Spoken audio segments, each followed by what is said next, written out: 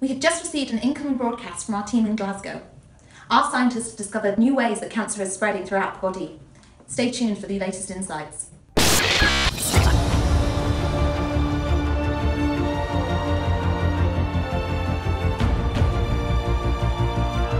Alright, obliterate all cancer cells. Break!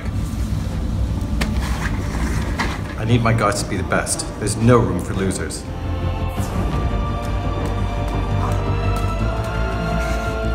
Our mission is critical. Failure is not an option.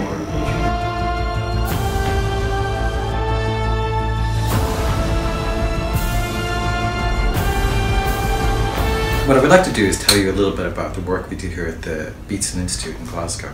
What we're really interested in is how cancer cells change shape and how they move, because that really affects how cancer cells will move from a primary growth to distant parts in the body. And it's that movement which is really the life-threatening aspect of cancer. It can really start to impact the health of distant tissues and organs. And by reducing that spread around the body, we think that that may be a way to really help prolong the life and uh, quality of life of cancer patients. Mission control, we've got this.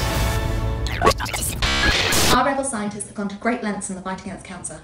It's up to you now to help them. Share the news of the amazing research they've been doing.